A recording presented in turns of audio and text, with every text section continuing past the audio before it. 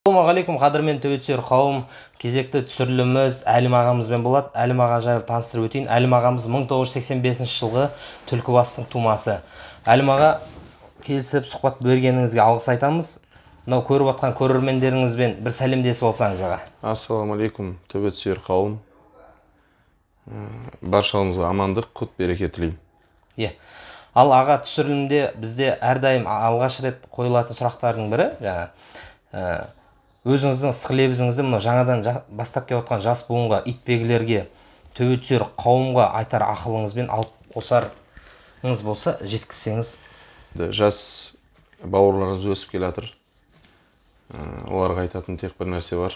Ә, тек қана спортпен айналысу керек пайдалы нәрсемен төбет асырау керек жылқы асырау керек Ә, қазақтың ұлттық спортын дамыту керек. Айта алмаймын осы салада деп. Әркімнің өз саласы болады. Өз саласында бұл спортты дамыту керек. Ой қандай керемет аға мынау не деген рухты көтеретін жауап болды. Жалпы ә, бұл төбет әлеміне әлім ағаны кім кіргізді? Мені ә, бұл төбет әлеміне былай болды. Мен өзім 1997 жылы осы қазақ түрік ерлер лицейіне түстім оқуға. Осы келген соң ә, евразия базарында төбет сайыс өтетін еді сол жылдары. Ә, апта сайын. Ә, сол ә, сенбі жексенбі күндері. Сол жаққа барып төбеттерді көріп жүруші едік. Көріп жүрген соң өзім сол жақтан ә, қызықшылығым пайда болды. И сосын ә, мойнақ деген төбет болған старый мойнақ дейді оны көбінесе. Сол мойнақтың ойынын көргеннен кейін төбетке енді действительно қызықшылығым пайда болды. Сол сол жылдардан бастап төбетке құмарлық бар. Иә жалпы 97 жылдан бері бұл салада еңбек етіп жатсыз. Еңбек еткенде қызықшылығым Иә. сегіз жылдан пайда болды. аха. Жалпы мынау ә, төбет әлемінде біршама уақыт болды жүргеніңізге. Сол жылдары мен қазіргі жылдар салыстырсаңыз төбеттердің деңгейі қалай аға? Енді оны салыстыра берсек былай ғой. Ә, төбеттердің ә, деңгейі енді өзгерді ғой. Қазіргі заманда ә, иттің дайындығы сосын витаминизациясы ә, профессиональный подход деген жоғары деңгейге көтеріліп кетті. Өте жоғары деңгейге көтеріліп кетті. Бұрында көбінесе адамдар түсінбейтін еді. Ит ит деп төбет деп айта салатын еді. Сын жерден шешіп әкеліп сала беретін еді. Қазір ондай нәрсе жоқ. Қазір адам баласы үлкен аренаға шығады. Үлкен аренада өзін дәлелдеу үшін өте үлкен еңбек етеді. Ол дайындық ә, питание режим деген сияқты. Иә қандай керемет. Мынау түсіріліп жатқан түсірілімдердің ең ұнаған жауабы осы болды маған аға. Мынау соңғы жылы зубай атты төбетті чемпион снг қылдыңыз иә аға? Иә иә құдайға сол шүкір төбетіңіз жайлы мынау көріп жатқан көрермендер білгісі келеді. Әлім ағамыздың соңғы уақыттағы төбеті чемпион болды зубай деген. Жалпы соған тоқталып өтсеңіз аға. Зубайды қалай келді қалай чемпион қылдыңыз оны? Былай болды. Мен зубайды 2020 жылы 25 июнь тарихын қазір де есімде досыма барып едім. Бір төбетім бар еді. Ә, сол төбетімді бір тестілейін деп соған апардым. Сол досымның төбетімен. Барған кезде сол екеуміздің сол досымның екі төбеті бар еді. Біреуі хан біреуі сол зубай. Сол кезде мен ә, ханмен салдым өз төбетімді екеуінің ойыны болмады. И зубай үйдің артында байлаулы тұрған ғой негізі. Сол иттердің дауысын естіп төбеттердің бір осындай бір бетонный квадрат бар еді ауыр. Соны сүйреп алып келді и мен досыма айтамын ғой бұл не төбет десем? А бұл дейді менің бір төбетім кесе осымен тексерейік дедім да бұның желаниясы итке мықты дедім. Мақұл деді көңілімізді қимай дегенде сол кезде зубайдың салмағы бір отыз тоғыз қырық кило бар шығар и біздің төбет ол кезде алпыс алпыстың арыс беріс ғой алпыс төрт алпыс үш шығар и зубайды сонымен жібереді зубай жүгіріп келіп құлағымнан ұстап екі минутқа жеткізбей шыңғыртады сол төбетімді и содан зубай көзіме түседі. Иә. Сол досымнан сұраймын досым мына төбетімді маған берші деймін. Ол айтады бауырым пока өзім қызығып отырмын саған бір жауабын айтамын деді. Сонымен күз келеді қара күз келеді өзі звондайды бауырым осы төбетте көзің қалған еді деп. Екеуміз екеуміз арамызда бір төбет тұрмасын деп маған өзі сыйлап өтті сол төбетті.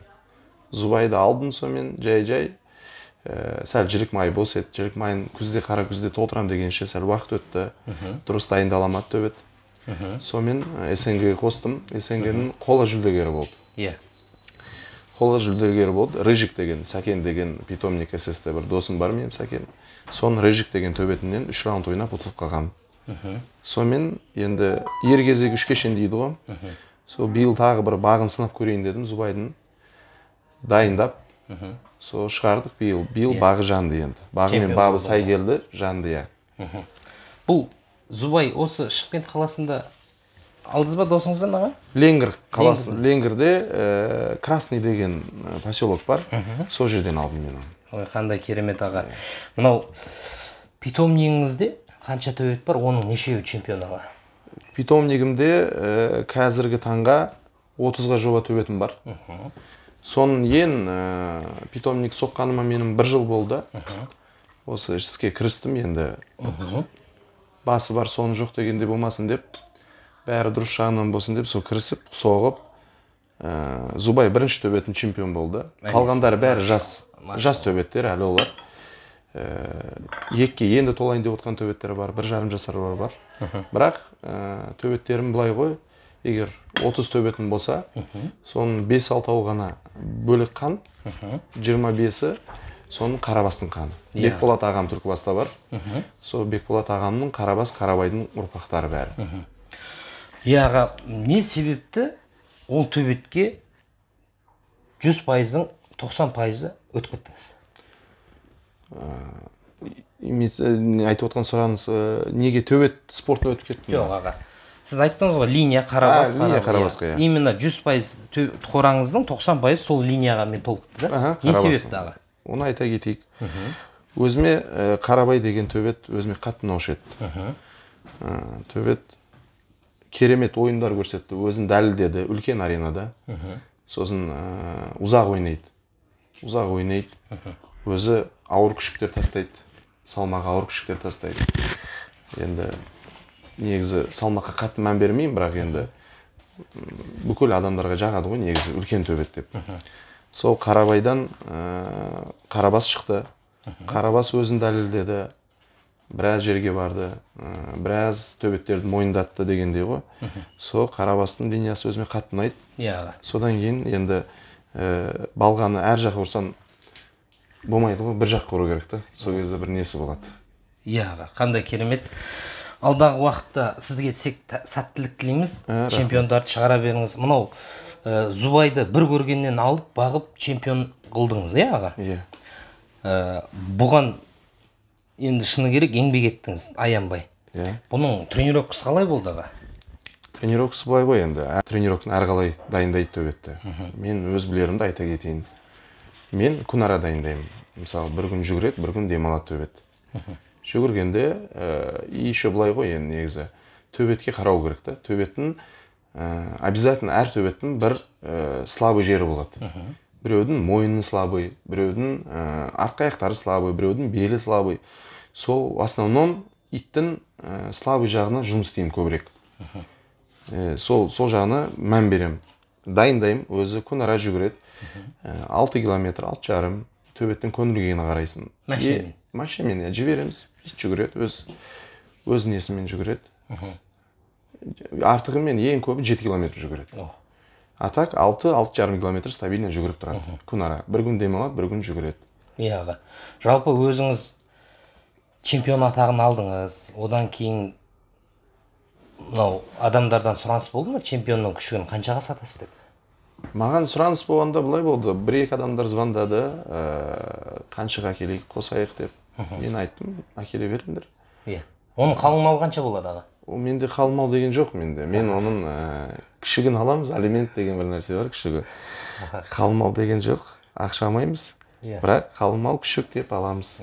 Таңдап аламыз выбор деп ондай бір төбеттер әлемінде бір не бар заң бар. Иә мынау өзіңіз профессионалды аренада осы соңғы екі жылда көзге түстіңіз аға иә? Былтыр полуфиналист болдыңыз иә? Иә, осы иә, жылы чемпион иә. болдыңыз. Осы екі жылдық өзіңіздің тәжірибеңізде коммерциялық бойлар болды ма? Коммерциялық бойларға көзқарасыңыз қалай? Бұл әр адам ә, әрқалай деп не істейді ғой бұны. Енді мен мен мен өзім қарсы емеспін. Ол адамдар ойнатса ойната берсін. Өз басым коммерцияда қойдым ойнамаймын ақшаға ойнатпаймын төбетті. В рамках чемпионата төбетім ойнайды. Қандай керемет аға. Алдағы уақытта қай чемпионатты көздеп отырсыз? Енді құдай қаласа міне биыл ә, сапархан ағамыз леон арена ашып отыр. Ол жерде жас төбеттердің сайысы болады. Үлкен төбеттердің сайысы болады сол сол жақты ойластырып отырмыз. Осы жерге қосасыз. Иә құдай қаласа. Жас төбеттеріміз бар. Жастар арасында қосасыз ғой сонда? Құдай қаласа жастар арасында төбеттеріміз бар. Сол сондай енді ой ғой енді. Құдай қаласа күз келсін бір шешім бір нәтижеге жетеміз ғой. Шешім қабылдаймыз бір шешім дұрыс жағынан. Аха. Бәріне бесенеден белгілі ғой мынау. Қарабас қарабайлар негізі жаңадан шыққан хан емес. Олар да бұрыннан келіп жатыр бұрыннан келіп иә. отырғандар иә. солардың ішінде ә, өзіңізге ұнайтын линиялар. Атап өте аласыз ба аға. Қайсы хандар өзіңізге бұрыннан келе жатқан хандар ұнайды? Бұл линиядан бөлек. Ұнайтын маған старый қайтмаздың линиясы ұнайды. Ә, сосын ә, ағарланның линиясы ұнайды старый ағарланның линиясы ұнайды. Сосын ә, енді қазақстанның төбеттерін айтатын, айтатын болсақ сосын ә, кім ә, старый мойнақтың линиясы ұнайды. Осы төбеттер ұнайды. И ә, старый бай иә старый бай чемпион қазақстана болған 2007-те егер қателеспесем сол төбеттің линиясы ұнайды алдағы уақытта солармен жұмыс істейсіз ба енді құдай қаласа құдай қаласа м, қарабаспен араластырып дегендей қосып ә, усиливать ету керек линияны дамыту керек төбеттерін мынау көрермендерден түскен сұрақтардың бірі аға неге біздің қазақстандағы төбеттеріміз россияға барып менмін деген мықтылармен аса ауыр салмақтағы төбеттеріміз шықпайды. Әлде біздің қауқарымыз жетпей ма деген сұрақ сізге? Кімдер лайықты сол жаққа баруға кімдерді жоспарлап отырсыз? Мынау барса жақсы өтеді деп өз ойыңыз аға енді былай ғой енді ресейге де жол ә, тарту оңай нәрсе емес. Оның ә, қаражат оған керек. Сосын ә, уақыт керек дегендей ол жаққа барып келуді оңай емес төбет шаршайды. Кейбір төбеттер жолды жақсы көтермейді біреулер жақсы көтереді. Салмақ қатты тастайды стресс болады. Енді соған соның бәрін қарастыру керек. Ол төбе тілі жоқ жануар ғой айта алмайды. Бірақ біз оны өзіміз еге- егесі ретінде түсінуіміз керекпіз енді қазақстаннан ресейге бара алатын төбеттердің біреуі менің ойым ә, сейітқасым көкеміздің қаранары бар. Сосын бекболат ағамның сарысы бар. Ә, аса ауыр салмақ дегенде енді осы мұса деген досымыз бар ә, меркіден. Соның золотой деген төбеті биыл чемпион болды мысалы алашордада. Осындай төбеттер ресейге барып шетелге енді ресейде тек қана ресей емес қазақстан сыртына шығып қазақстанды ол жерде ә, туын желбірететін төбеттердің біреулері осылар деп ойлаймын. Қандай керемет аға. Мынау естіп мен өзім де қуанып отырмын аға. Қандай керемет бұл деген өзіміздің төбеттеріміздің қазіргі таңдағы дәрежесінің еңбектің арқасында көтерілгені ғой енді аға. Мировой аре- аренаға уже біздің бір емес бірнеше төбеттеріміз дайын. Иә құдайға шүкір иә. Иә аға мынау өзіңіз айтып қалдыңыз ғой кейде төбеттер перевозкада жол көтереді жол көтермейді кейде стресс болады деп. Осы жайлы аға перевозкадегі болатын қиындықтар туралы айтып өтесіз ба перевозка бір иттеріміз салмақ тастап кетеді екен бір иттеріміз ә, салмақ тастамай барады. Осының жөн жобасын аға түсіндіріп өтесіз ба енді негізі ә, төбеттің егесі біледі ғой өзі төбетін ә, мысалы любой төбет тараз болсын алматы болсын қызылорда болсын ақтөбе болсын жол жүргеннен кейін ол уже біледі.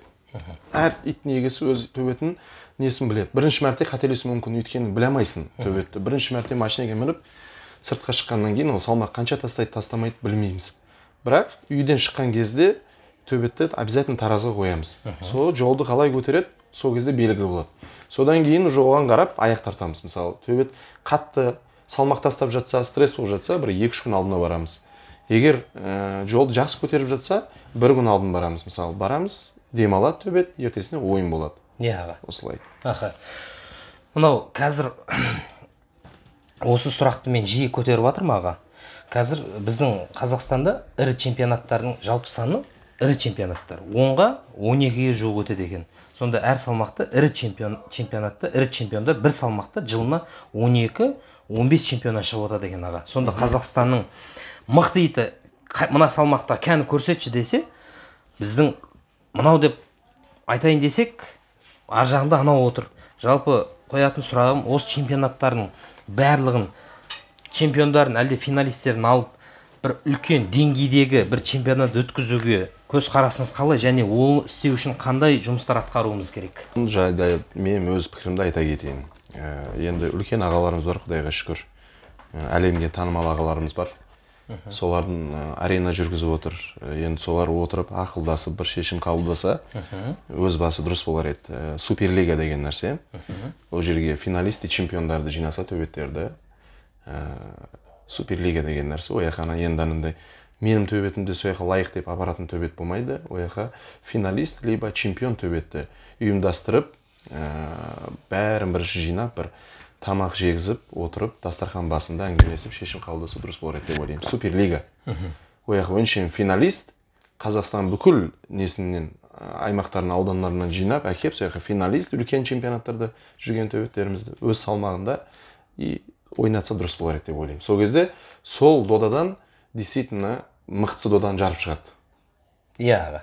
Өз пікірім. Ой қандай керемет. Ол үшін бізге банкет керек иә? Иә банкет бір ұйымдастырып үлкен ағаларымызға бір ұсыныс қой. Енді Иә. ұсыныс болғанда бір просьба дегендей да өтініш ретінде осындай бір нәрсе ұйымдастырса жаман болмас еді деп ойлаймын. Иә қандай керемет. Жалғасы бар күтіңіздер.